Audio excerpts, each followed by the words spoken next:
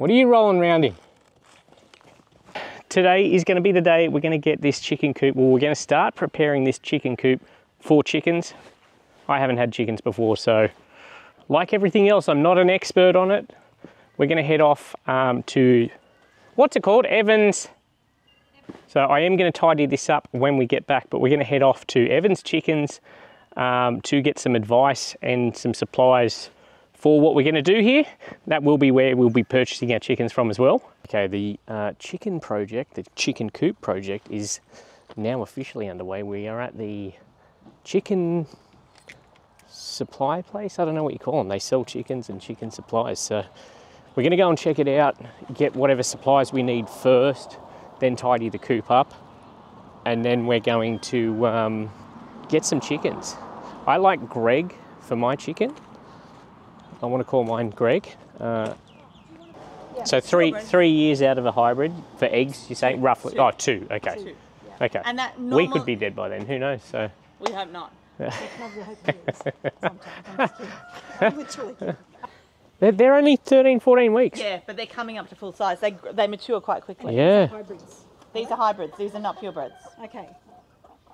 Um, And they start laying at what, 18 roughly weeks or? mm, depending on the season. Okay. Now the whites can start as early as 13 weeks. If you look at combs, see how the one sitting up here, her comb's maturing really well. Yep. Yep. She'll be quick. She'll be quick, quick in delay. So on the other are the Sussex. They're purebreds. They're beautiful. Sussex are beautiful. They are the blondes. They are pretty, aren't they? They are the blondes, and they're there to look good. Right. So, so we could, what, could you have two browns and one of those, or I two would, of the, I Two would, of those if you and want two browns. two and two. two and two? Yeah. Yeah. We're at four now. Yeah. Well, because you don't have one. That's what we're Yeah. saying. Yeah, yeah, Because yeah. the ark was filled two by two. Oh, one, two. sorry. Okay. If there's Oh, is this them there? if they're having a party, I mean, Oh, is this them that you're talking no, about? no, no, there's Oh. different ones. Oh my God, look at them. So what are they? Um, Babies. They are there's light. Your lights on on your phone. too. Oh, thanks. That's all. Um, gold lace Wyandottes, cream Legbars. They're so cute. Yeah, they are cute. Used to have a farm in Quakers Hill. and they Quakers used- Hill Yeah, farm. Wow. they used to ship chicks around the country by train. So I mean, you know, he's got He's got it in his blood. he's got it in his He's chicken royalty. So we're at Evans Chickens in Moralia. Um, we don't know anything, so it's been really handy. Joanne and Rodney here have been an absolute wealth of information. We've got a few supplies. This is where we'll be getting the chickens from. They've also got all the supplies here for them.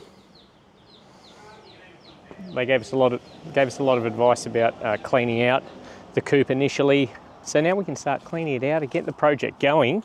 But if you are looking to get some chickens, I definitely recommend coming here because um, even for first timers, they're very helpful. Oh, Timmy is so cute. That's his sister, and he just jumped on her. Hello. Yeah, so this is Timmy. Timmy, and how old? Three months. No, I think he was born. Will Timmy bite me? No, he jumps so high. Hi, Timmy. Hello, He's. Timmy. You want to just have a sniff. Timmy was in the kitchen before. Timmy comes in our house. Oh, hello. Did you try and find the biscuits, Timmy? Oh, Aw. Timmy the alpaca. That's got a red jumper on. Maybe that's not a good idea. What's No. this pretty one's name? Daisy. Daisy, you're beautiful. You've got beautiful eyes, haven't you? Oh, Daisy, you're so Hello. Oh, look at those pretty eyes. She's like, who are you? I've not seen you before. pretty. Them. All right, we are back. We have some supplies. Before we start, I want to tidy up just a little bit around the outside. We've got some a little bit of overgrown grass edges around the tip of it there. Oh, quite a few wasps.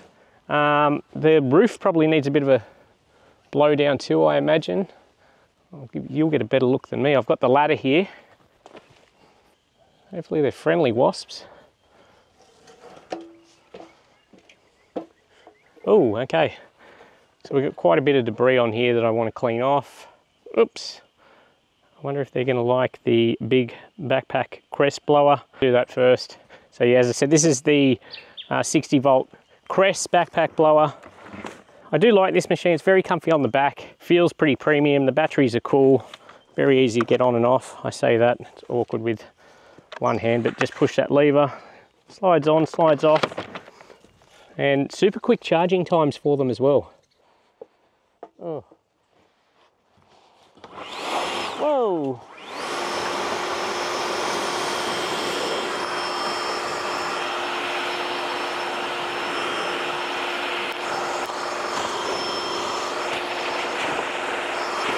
I would describe that as quite effective, particularly down that end, under the tree here,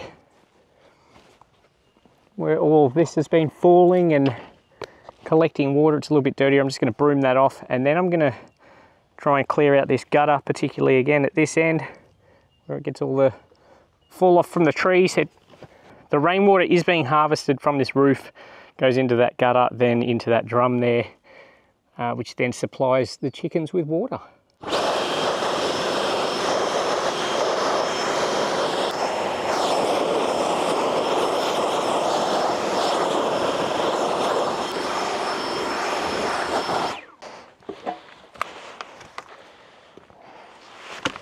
It worked.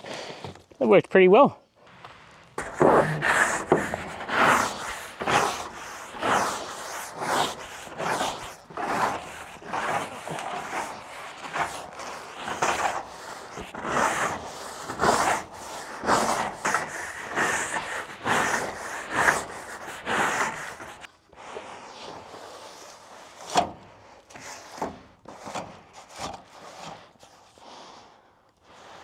Ew.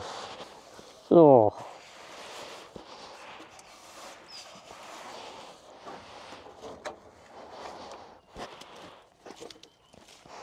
Oh.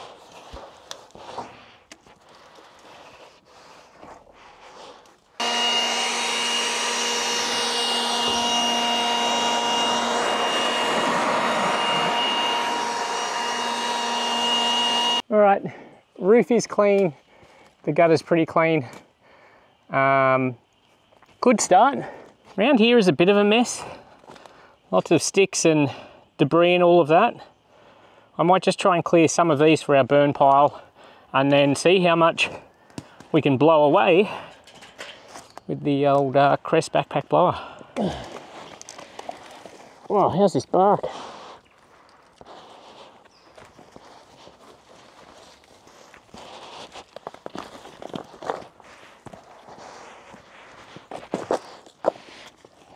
So most of that bark, or all that bark's obviously coming from that tree there, which has uh, passed away.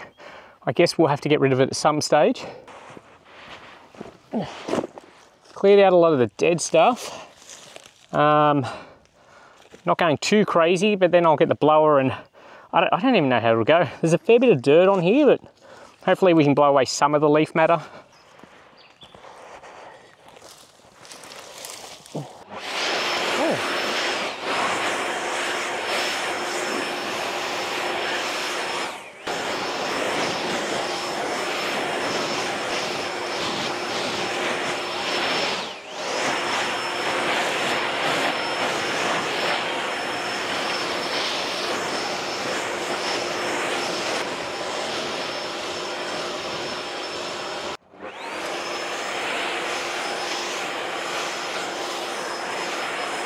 So I think this will be a bit of a ongoing project.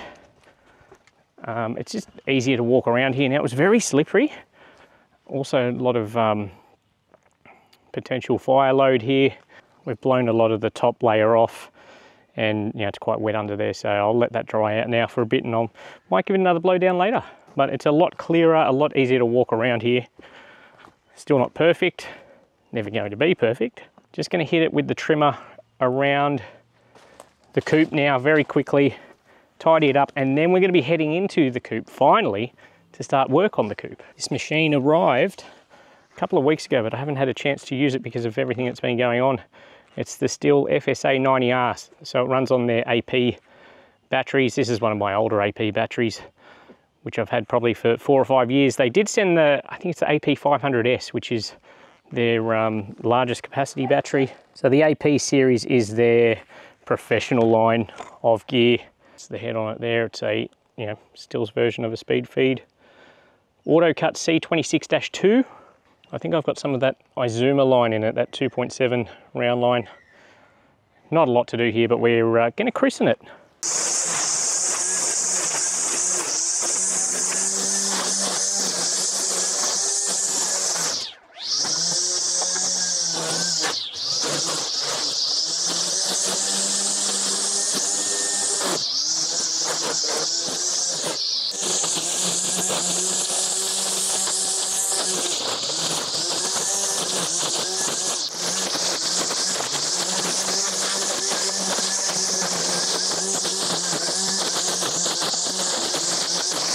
All right, so that's a very quick look at it. I'm going to put it to use obviously a lot more, but um, it has the motor in the head, this machine. So if you don't like that, that balance where, you know, it's, it's kind of bottom heavy, you probably won't like this machine. It feels absolute quality. You obviously can't fault them for that. That weight is in the, the head there, so might take a little bit of getting used to if you haven't had a line trimmer with the, look at this dog.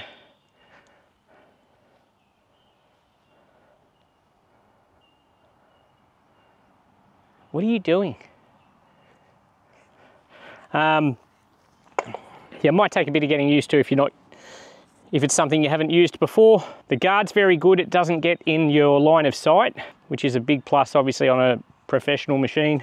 Now this isn't the top of the range in their professional machine, but it does run on their professional batteries. Anyway, I will have plenty more of it. I'll do an independent video for it at some point. We'll have to clean them when we get in there. Okay, so that's sufficiently clean.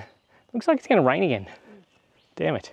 Um, sufficiently clean on the outside now for us to venture on the inside. Um, we went to, what's it called again? Evans chickens.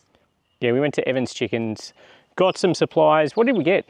So we got a few things, but the process is firstly going to be to rake all this out, Nicole? Is that correct? Nicole hopefully was active listening when we were being told what to do. Uh, we're going to rake all this out back to dirt, which it actually isn't too bad, hey? And then in here, oh. So we have to clear all this out, clear that bedding out there, which it's not that much work. A couple of shovels in there. Uh, then we have to spray with this, which is apparently going to get rid of all the mites and all the nasties that uh, that chickens don't like. So I think we have to spray that and then leave it for a few days before we do anything else. We can't put the other stuff down till No, so you got to spray everywhere. Okay, yeah, so Nicole's saying we have to spray everywhere, every little nook and cranny, then leave it for two or three days to dry. Yep.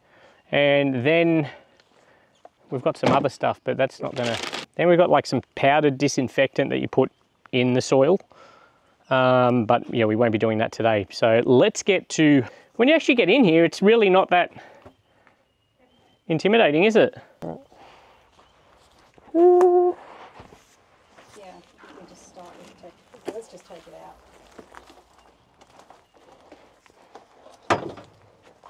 Watch out. The other way.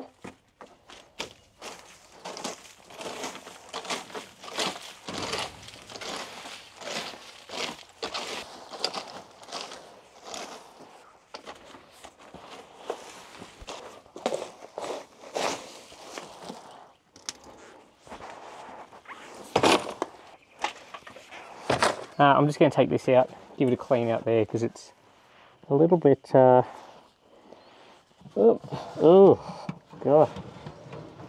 This is tight.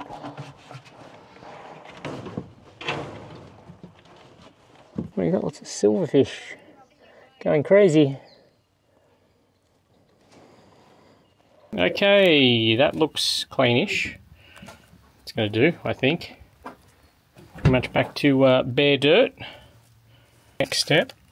To poo. Whoops. Oh, so much. Oh.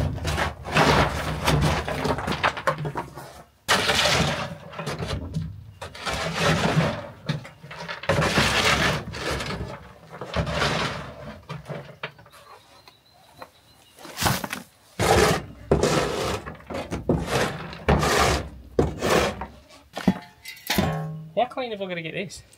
To wash down the windowsills, I'll do. Okay, so I've got to get yeah, but like how what level do I have to get it to? Just all the loose material out. Okay.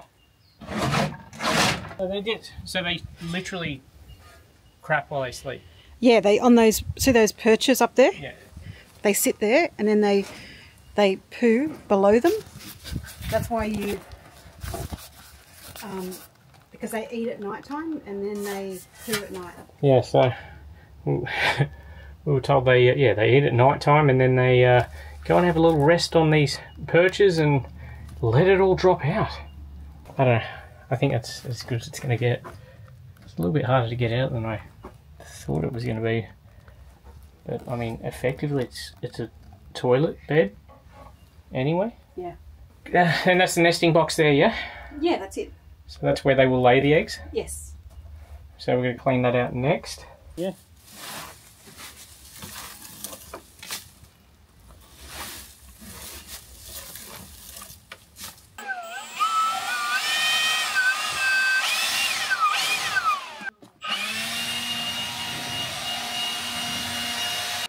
All right, we're to go and spray the whole coop now for mites.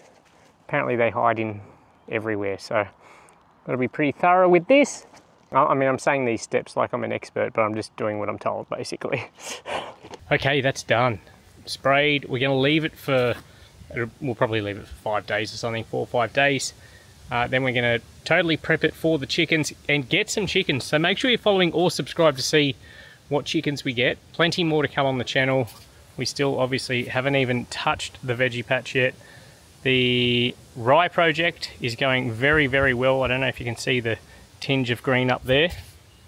The robot mowers are working. Well, okay, the co-wall, the co-wall should be working, but it's, I don't know what it's doing down there. I'll go check that out.